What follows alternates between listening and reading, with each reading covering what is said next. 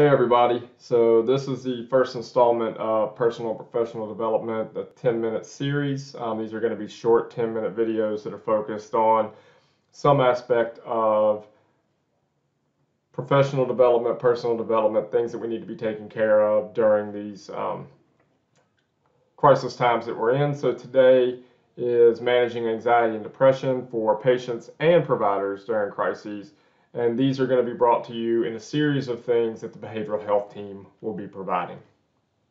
So some things that you may see within your patients, some things you may experience on your own, um, maybe some increases or some feelings of depression and or anxiety.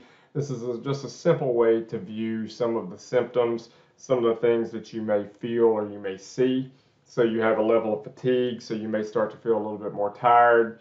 That could be due to the things that you're having to work on, your racing thoughts, making decisions of who's getting care, who doesn't get the care right now that that maybe they still need but doesn't meet um, sort of the crisis scenario that we're in. Some fear and some worry about you know yourself and your loved ones, um, and some of your patients and some of the experiences that they're going through. Some changes in sleeping patterns or difficulty sleeping. This can be sleeping late. Um, it can be binge watching TV in the middle of the night or throughout the night.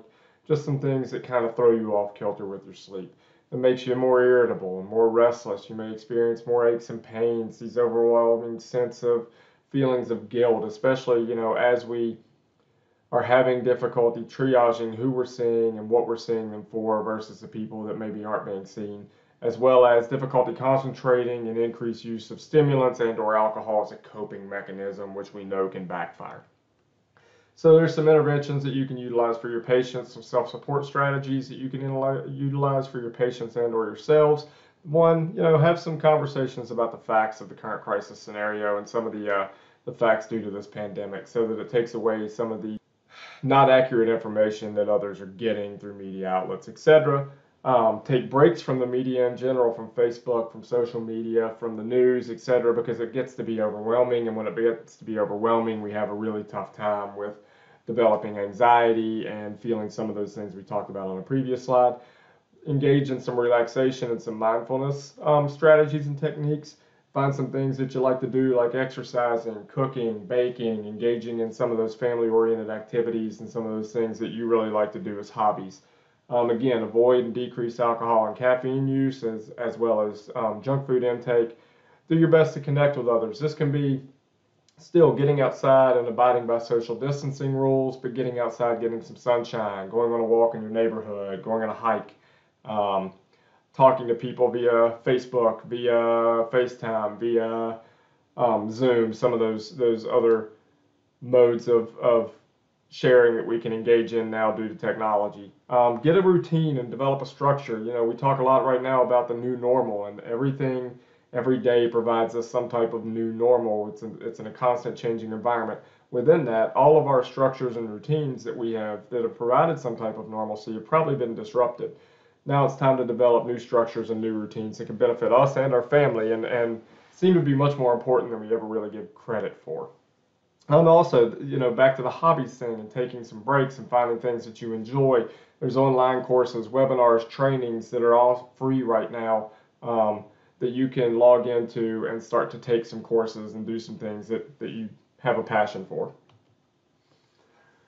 So we know sleep strategies or, or sleep is a, an issue right now, not only for our patients, but for some of us as well. So here's some brief sleep strategies that you can engage in. And if you think about these and present these to our patients as identifying sleep thieves and then identifying sleep allies, that can separate those two things into manageable scenarios. So for sleep thieves, we want to be able to track current sleep routines to identify what the thieves are. That can include tracking stimulant use, um, the use of bright screens, what the stressful events of the day and the evening have been, how much exercise or activity have I actually engaged in, did I take any naps, on the other side, some of these sleep allies or things that help you get to sleep are going to be like staying busy and doing things that you enjoy, eating better, eating well, having a healthy diet. I know that can be a challenge right now, but it's also something that we can attain. Having a bedtime, bedtime routine. We talked just a few minutes ago about having some normalized structure and some new structure with the new normals of our lives. Sleeping when we're sleepy, reading a book, um, going to another room and reading when we wake up so that we can become sleepy again, using your bed for sleep related purposes, not for binge watching TV, for doing homework, for things along those lines, and some relaxation and some breathing techniques. Here's a great breathing technique. It's super simple and it's extra and, and it's very effective. It's the 478 technique. So basically what this can do is help you get to sleep or it can calm you down enough when you feel stressed to maybe move toward getting to sleep. Basically what it does is it tricks your body into being more relaxed because it's slowing down your breathing also can change your mindset, slow down racing thoughts, help you concentrate, etc. Here's how this is going to go. You're going to take a deep breath in and then you're going to exhale deeply through your mouth. Then you're going to take a deep breath through your nose for, for about four seconds or a count of four. You're going to hold that breath for a count of seven.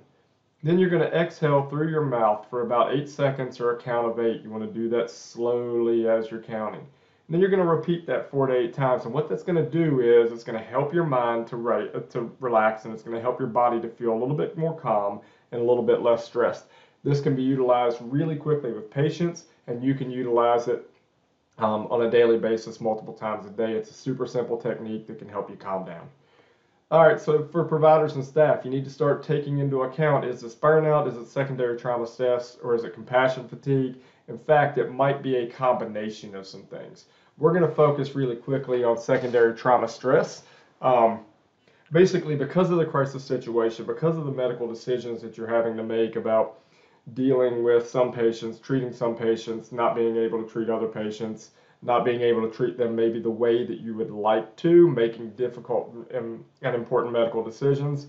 You know, hearing the experience that they have, hearing their fears and how it's affecting their health and chronic diseases, etc can bring about the secondary trauma stress. Okay, so there are psychological and emotional symptoms of it, like becoming irritable, being sad, developing depression, having mood swings, things along those lines. Um, repeated exposure to trauma, so repeatedly seeing people that are fearful of this outbreak and, and dealing with not only your personal fears, but also having to take theirs on. So some physical symptoms like a change in appetite or fatigue, which we talked about earlier, some cognitive things like difficulty concentrating, trouble remembering things, having difficulty making decisions, um, some behavioral stuff like activity change um, or rates of activity, inability to rest, social withdrawal, um, increased use of alcohol, tobacco products, other things, caffeine, etc. Okay, so just pay attention to a lot of those things. That secondary trauma stress is really a matter of what secondary trauma stress is. Really it's it's the amount of increased stress that you're under from from working with patients as well as dealing with the the things that you have going on in your own personal lives with yourself and your family okay? What's your menu of personal self-care? We talked about briefly some of those strategies. Start to employ some of those things. How are you going to take care of yourself in this time of crisis especially given that you probably aren't paying as much attention to yourself as you are your patients. Disconnect, take a break from media. Don't watch violent TV shows. Don't watch shows about pandemics, um, about viruses, etc. Give yourself a little break from that and watch something else. Ask for help. Talk to your supervisors. Talk to your faculty members. Talk to the behavioral health team, and let us help you figure out where what help you need and where that can happen. Um, use a buddy system. Check in on each other. Um, use each other as sounding boards. Try to maintain some type of a normal routine at home. Again, that's going to be this new normal. Here's some ways to cope with this secondary trauma. You reach out to others. Do some journaling about it. Do some music or art therapy. Get engaged in exercise. Do some affirmations, daily affirmations, daily meditation. Do some prayer. Um, you know, hug your animal, pet your animals if you have pets, humor, crying, positive imagery. Take a break from media. We've talked about that eat well, stay really hydrated. We know that your body and your brain need those things. There's a lot of apps out there that can also help. For instance, Stop, Breathe, and Think. There's an adult version and a kid's version. Calm, Ambi Pro, Headspace, Breathe to Relax, Colorfly, which is the flamingo, Smiling Mind, Buddhify. All these focus on stress level, decreasing stress level. They focus on how you're feeling physically. They focus on training you in relaxation techniques and strategies, mindfulness scenarios coloring and art therapy, meditation sessions. Lots of really good apps that you can download on your phones or have your patients utilize that can help decrease some of these levels of anxiety, some of these high stress engagement things that we're dealing with. Some of these apps are going to be free, some of them are going to have um, paid services. Some of them are going to have things that you can pay if you want them. And one of the most important things that I think we can do right now, as difficult as it is, is smile and have some type of sense of humor. Um, we're all in a difficult situation right now. We're in unprecedented waters where we're dealing with something that we don't necessarily know how to to quite handle. Have a little fun um, with the with the humor side of things. There's plenty of memes and things out there that we can find. Um, tell some jokes to each other. Laugh at something if you can. So I hope you found these things to be helpful. Again, this is just a short snippet of some things that the behavioral health team will be providing and putting together for you um, to hopefully help all of us um, continue to manage this crisis situation in a way that keeps us healthy and keeps our patients healthy.